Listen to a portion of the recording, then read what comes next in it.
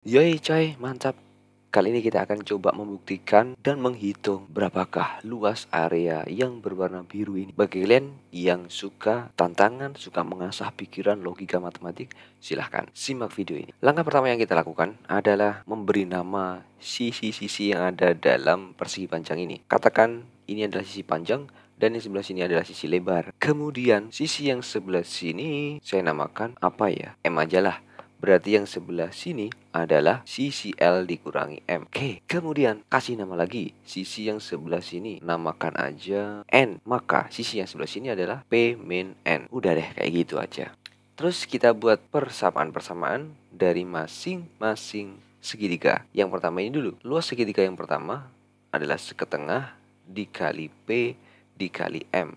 Nilainya adalah 2. Artinya apa? P dikali M itu sama dengan 27 dikali 2, 54 gitu ya. Kita juga bisa modif ini jadi bentuk P sama dengan 54 per M. Udah deh, kita dapat persamaan pertama dari luasan yang pertama ini.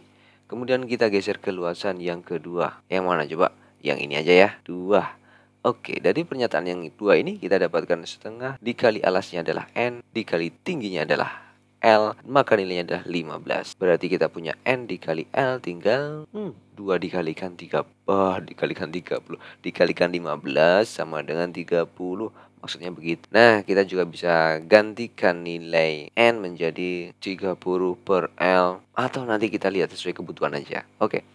Kemudian kita ke yang ketiga ini. Yang ketiga ini kita cari dengan setengah dikali alasnya adalah L min M dikali tingginya adalah P min N sama dengan 12 hmm, hmm. Sekarang mau kita ganti dalam bentuk apa? Udahlah kita kalikan dulu aja ini ke sini. Jadi L min M dikalikan P min N itu sama dengan 24 gitu kan ya? Set kita ke bawain. Dan kalau kita kalikan satu-satu berarti L dikali P Oke. Kemudian ada L dikali N atau min N dikali L min M dikali P, kemudian ada minus plus jadi M dikali N itu sama dengan 24.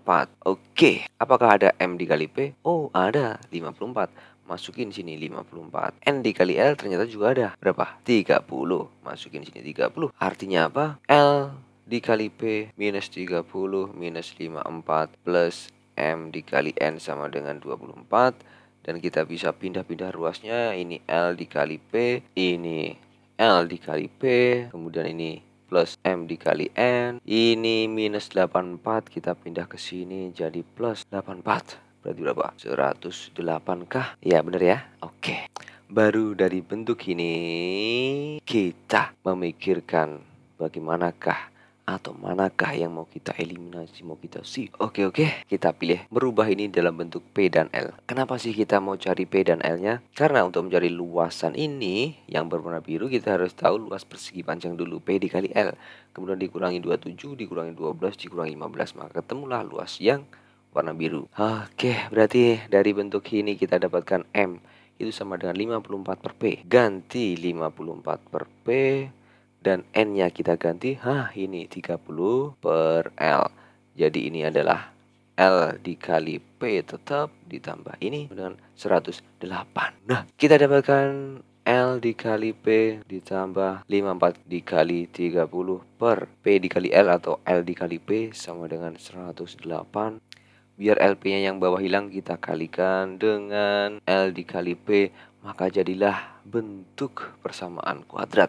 Kita misalkan aja L dikali P ini adalah X yang merupakan luas persegi panjang, maka ini jadi X kuadrat plus 54 dikali 30 sama dengan 108x kemudian kita pindah ruas jadi bentuk persamaan kuadrat minus 108x plus 54 dikali 30 sama dengan 0 nah bisa kita faktorin apa? Tidak. Hmm, ini adalah 1620 coba deh kita faktorkan. Hmm, dan saya punya ide X minus 90 dikali X minus 18 sama dengan 0 hmm, Ini kan faktornya. Berarti X-nya sama dengan 90 atau X-nya sama dengan 18 Luasnya segi 490 atau luasnya adalah 18 Kalau kita lihat segitiga masing-masing ini itu lebih dari 18 untuk 27 berarti tidak mungkin luas segi empatnya ini kurang dari luas segi tiga berarti yang 18